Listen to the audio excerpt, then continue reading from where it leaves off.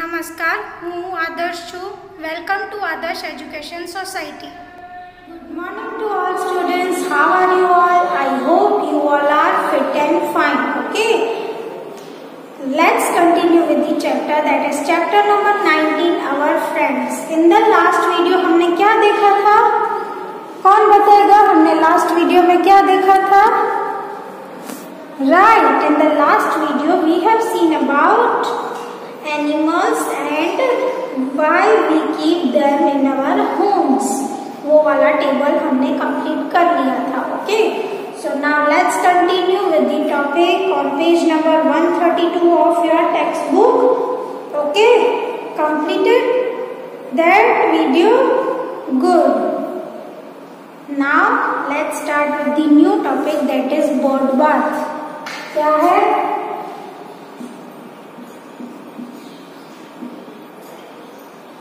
Bird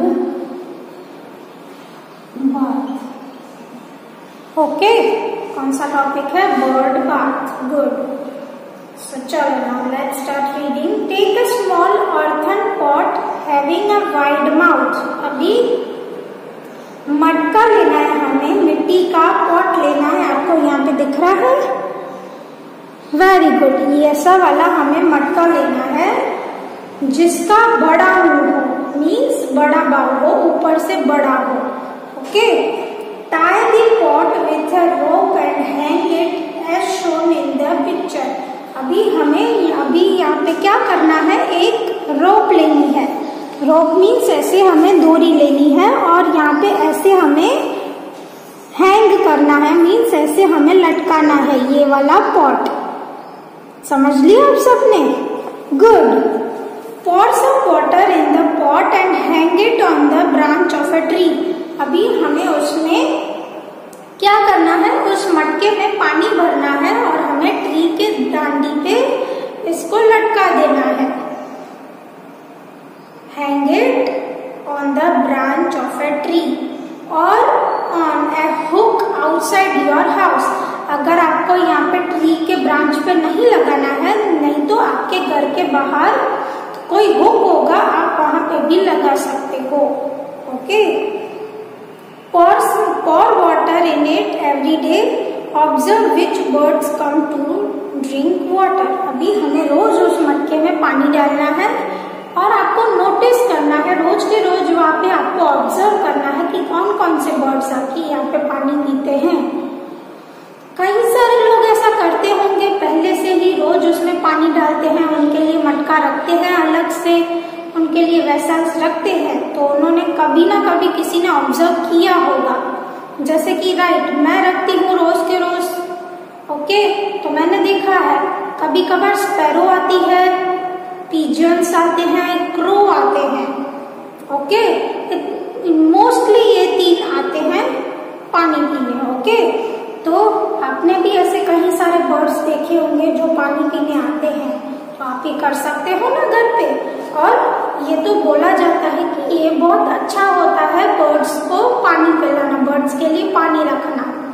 okay ये बहुत ही अच्छा काम होता है। जैसे हम बोलते हैं ना, पुण्य का काम होता है तो वो होता है। गुड तो आप ये कर सकते हो। गुड अभी नेक्स्ट आगे क्या दिया गया है? थिंक एंड राइट अभी थिंक करना है एंड लिखना है हमें। क्या करना है? चलो हम देखते हैं। Let like animals also to drink अभी हमारी तरह एनिमल्स को भी पानी की ज़रूरत पड़ती ही है। रहने के लिए right there are many other things which are required by both animals and humans और ऐसी कई सारी चीज़ें होती है जो दोनों के लिए ज़रूरी होती है एनिमल्स के लिए भी एंड ह्यूमन बींग्स के लिए भी। Write the names of three such things और वो वाले वैसी तीन चीज़ों का हमें नेम लिखना है। यहाँ पे क्या दिया गया है? Useful to human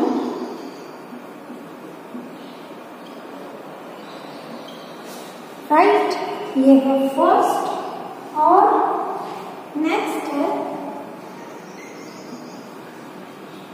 useful to animal right हम भी यहाँ पे लिख सकते हैं ना कि हमारे ह्यूमन बींग्स के लिए कौन सी चीज़ें ज़रूरी है और एनिमल्स के लिए भी वही सेम चीज़ें ज़रूरी है कि नहीं, दोनों के सेम आंसर आने चाहिए। तो सबसे पहले हमने बात की वाटर की, कि वाटर दोनों के लिए बहुत ही ज़्यादा ज़रूरी है। ओके अभी नेक्स्ट क्या आएगा? कौन सी चीज़ें ज़रूरी है? फ़र्स्ट प्रोबेबली तो कौन सी चीज़ ज़रूरी है? सबसे मेन जो एनवायरमेंट में यूजफुल होती है और इसके सिवा हम रह ही नहीं सकते। वो क्या है? एयर गुड वो क्या है? एयर मीन्स हवा। हवा के बिना कोई कोई भी नहीं रह सकता है। अगर हवा ही नहीं रहेगी तो हम ब्रीथ कैसे करेंगे? हम सांस कैसे लेंगे ओके गुड तो ये बहुत ही ज़्यादा ज़रूरी है। अभी नेक्स्ट क्या ज़रूरी है कौन बताएगा वेरी गुड बहुत ही ज़्यादा ज़रूरी है फ़ूड खाना। अगर फ़ूड नहीं होगा तो हम रहेंगे कैसे? फ़ूड के बिना we are nothing okay food के बिना वी आर नथिंग दोनों के लिए सेम चीज़ें ज़रूरी है और नेक्स्ट क्या ज़रूरी है सबसे मेन चीज़ हम रोज दिन भर हम काम करते हैं राइट डेली के डेली हम सुबह से लेकर रात तक काम ही काम करते हैं फिर क्या होता है हमें हमें ऐसा लगता है कि बस हम थक गए हैं राइट तो हम क्या करते हैं रेस्ट करते हैं और सो जाते हैं। ओके? अगर हम रेस्ट या सोएँगे नहीं रेस्ट नहीं करेंगे, सोएँगे नहीं तो फिर से हमारे अंदर एनर्जी कैसे आएगी? राइट पूरा दिन हम अगर काम पे काम काम के ऊपर काम करते रहेंगे तो हमारे में एनर्जी कैसे बचेगी? फिर हमें कुछ ना कुछ बॉडी में दूसरे शुरू हो जाएँगे, जैसे चक्कर आना, माथे में सूर होना, या कुछ ना कुछ ऐसे बॉडी के अंदर चेंजेस आते ही है। अगर हम पूरा दिन कंटिन्यू रेस्ट ना करें और काम के ऊपर काम करते रहें तो हमें ऐसे कभी होता है। तो सबसे ज़्यादा और क्या ज़रूरी है? रेस्ट एंड स्लीप क्या ज़रूरी है?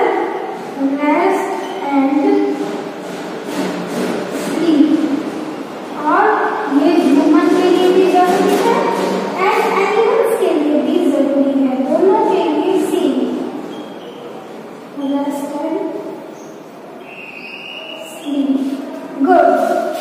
गया ना ये तीन air food and rest and sleep ये दोनों और ये तीन हमारे लिए और एनिमल्स के लिए बहुत ही ज़रूरी है।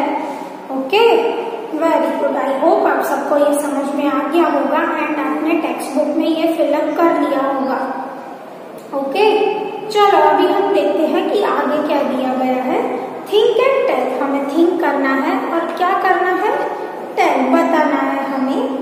You know that we eat a variety of food हमें सबको पता है कि हम बहुत सारी वेराइटीज ऑफ़ फ़ूड खाते हैं right similarly animals too eat different kind of food और उसी तरह एनिमल्स भी बहुत सारे डिफरेंट काइंड ऑफ़ फ़ूड खाते हैं।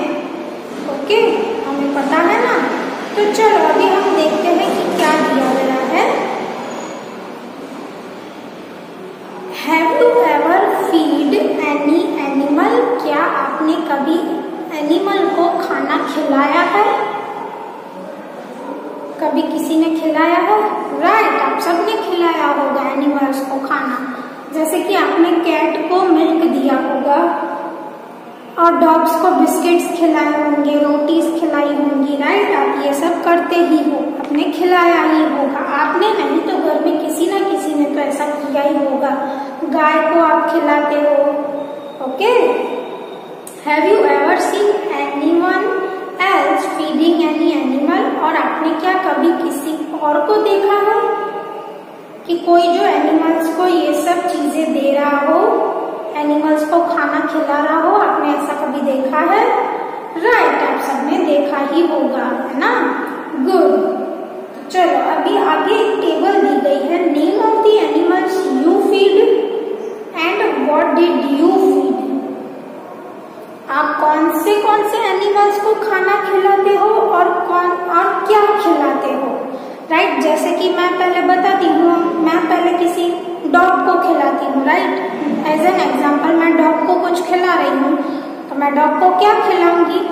छोटे पपीज होते हैं तो मैं उनको या बिस्किट्स खिलाऊँगी या उनको मिल्क दूँगी राइट और अगर बड़े डॉग्स हैं तो उनको मिल्क दूँगी बिस्किट्स दूँगी रोटीज दूँगी ओके तो मैं ऐसी कई सारी चीज़ें उन्हें दे सकती हूँ, खाना दे सकती हूँ तो आप ऐसे बहुत सारे नेम्स लिख सकते हो ना अपने आप?